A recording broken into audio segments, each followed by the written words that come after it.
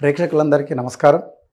ఈరోజు కూడా మిషఫ్ యాదగిరి గారు ఒక కొత్త రెసిపీతో ఒక మంచి ఆరోగ్యకరమైన పద్ధతిగా మీకు చేయడానికి చూపించడానికి మీ ముందుకు వచ్చాడు మిషఫ్ యాదగిరి గారు. ఎందుకంటే మనకు చాలా వరకు ఈ మధ్యకాలంలో ఎయిర్ ఫాల్స్ కానీ ఎయిర్ గ్రే కానీ మనకు తరచుగా పడిపోతూ ఉంటుంది. జుట్టు రాలిపోతుంది లేదంటే జుట్టు తెల్లబడిపోతుంది. ఈ విధంగా మనం ఎంతో బాధపడుతూ ఉంటాం. కానీ రకరకాల షాంపూస్ రకరకాల విధానాలు వాడుతున్నా కూడా మనకు రిజల్ట్ అయితే పెద్దగా అయితే ఏమి కనబడదు. కానీ మనము ఏదైతే ప్రకృతి మనకి ఇచ్చిందో ఆ ప్రకృతి ఇచ్చిన దానితో మనము నిజంగానే దాన్ని చేసుకొని నిత్యము మనము వాడగలిగితే మంచి రిజల్ట్ వస్తుంది. కాకపోతే ఏంటి మనము ఇంట్లో ఫ్రిడ్జిల్లో నిల్వ ఉంటాయి ప్రతిదీ. నేను చెప్పే ఐటమ్. కానీ దాన్ని మనం ప్రాపర్గా చేసుకొని తాగలేం. ఆ ఓపిక కానీ చేసే వాళ్ళకు ఇంట్రెస్ట్ కానీ ఉండదు. ఏ ఇదే కదా. అంటే పెద్దలు ఒక మాట చెప్తారు. తన వస్తువు ఏదైనా తరే పనికిరాదు అంటారు. పక్క వస్తువు అయితే చాలా బాగుంటుంది అంటారు. మన ఇంట్లో ఉన్న ఏ వస్తువులైనా సరే మనము దాన్ని ఆచరించము దాన్ని ప్రాపర్గా వాడం. కాబట్టి నేనేమంటే ఇంట్లో ఉన్న వస్తువులను మనం ప్రాపర్గా వాడగలిగితే మనం మంచి రిజల్ట్ పొందుతాం. ఈరోజు నేను చూపించబోయే రెసిపీ కూడా అట్లాంటిదే. మరి మీ అందరికీ కూడా కరేపాకు పుదీనా జ్యూస్. దానికి కావాల్సిన పదార్థాలు ఏంటి చూద్దాం. కరివేపాకు పుదీనా అల్లం ముక్కలు తేనె మిరియాల పొడి. కావాల్సిన పదార్థాలు చూసాం కదా ఇప్పుడు తయారు చేసే విధానం చూద్దాం. అసలు మనము కూరల్లో ప్రతి కూరలో వేస్తాము. కరివేపాకు ఎంత అద్భుతమైన మెడిసిన్ అంటే దీన్ని మనము కూరలో ప్రతి కూరలో వాడతాం. కానీ తినం. తీసి పక్కకు పడేస్తాం. దీన్ని నీతో పని లేదురా అని చెప్పేసి తీసి పడేస్తాం. కానీ కరేపాకులో ఉన్న గుణాలను తెలుసుకోగలిగితే అసలు ఇప్పటి నుంచి ఎవరు కరేపాకును వదలనే వదలరు ఎందుకంటే ఇది ఏరు ఏదైతే గ్రెయిన్ అవుతుందో పుడుతుందో అక్కడ నుంచి పో దాన్ని దీన్ని నలుపుగా అట్లాగే దృఢంగా చేయడానికి చాలా ఉపయోగపడతాయి. అదేవిధంగా ఐస్కు ఎంత ఉపయోగపడతాయి అంటే అసలు సైడ్ ఎఫెక్ట్ ఏమన్నా ఉంటే కూడా దాన్ని నిర్మూలించడానికి చాలా ఉపయోగపడుతుంది.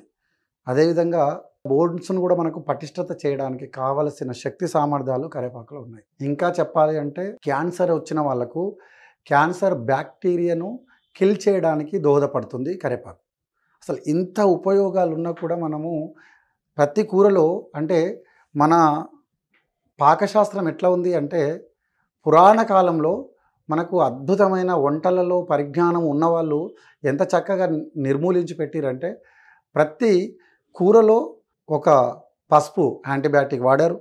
కరివేపాకు ఆరోగ్యాని కోసం వాడారు. కొత్తిమీర అదొక ఆరోగ్యకరం. అంటే ఒక ప్రక్రియను తయారు చేసి ఒక అద్భుతమైన మెడిసిన్ అంటే ఆహారమే ఆరోగ్యం అన్నట్టుగా మనకు పాకశాస్త్రం నేర్పించింది. దాన్ని మనము ప్రాపర్గా ఈ మధ్యకాలంలో ప్యాషన్ ఎంబడి పరిగెడుతూ వాస్తవాలను మర్చిపోయాము. కాబట్టి ఇంత అద్భుతమైన మెడిసిన్ మనము ప్రాపర్గా వాడితే అద్భుతమైన రిజల్ట్ కనబడుతుంది. సేమ్ పుదీనా కూడా.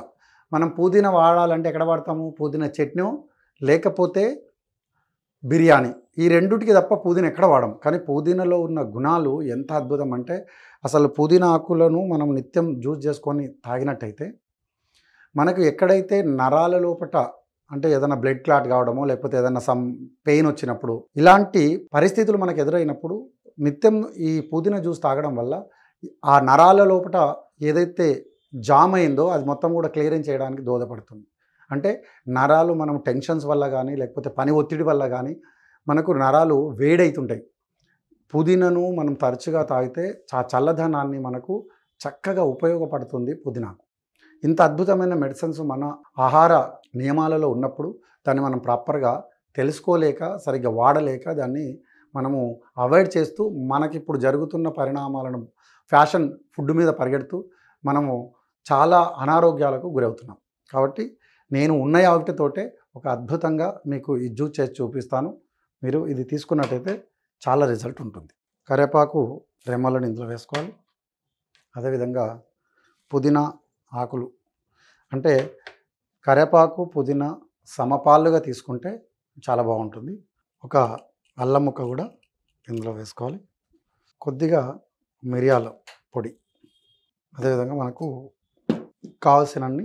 మళ్ళీ చల్లనీళ్ళు అంటే ఫ్రిడ్జ్లో పెట్టిన జో నీళ్ళు కాకుండా కుండ లోపల రాత్రి కుండ లోపల కానీ కాపర్ బిందె లోపల కానీ రాత్రి నీళ్ళు పెట్టుకొని ఆ నీళ్ళు మనం మరుసటి రోజు ఉదయం ఈ జ్యూస్ చేసుకోవడానికి ఆ చల్లటి నీళ్ళు దీంట్లో పాడినట్టయితే ఇంకా మీకు అంటే తాగడానికి చాలా రుచికరంగా ఉంటుంది.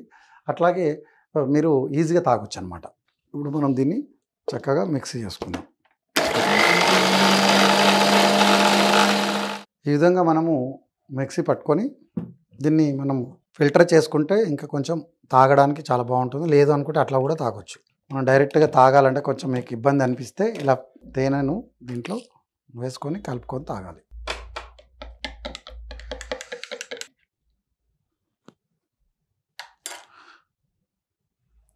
చూసారు కదా? పుదీనా కరేపాకు జ్యూస్ ఎంత అద్భుతమైన ఒక మెడిసిన్ అని చెప్పొచ్చు. దీన్ని మీరు ఒక రోజు రెండు రోజుల్లో తీసుకుంటే రిజల్ట్ పెద్దగా రాదు. దీన్ని మీరు తరచుగా రోజు మార్నింగ్ లేచి ఉదయం ఖచ్చితంగా మీరు తాగితే హండ్రెడ్ పర్సెంట్ మీకు రిజల్ట్ అయితే అద్భుతంగా మీకే తెలుస్తుంది. మీరు తప్పకుండా ట్రై చేసి మిమ్మల్ని మీరు ఎయిర్ ఫాల్ ఎయిర్ గ్రే నుంచి మిమ్మల్ని మీరు రక్షించుకోండి. ఈ జ్యూస్ను తరచుగా చేసుకొని తాగండి. అందరికీ నమస్కారం.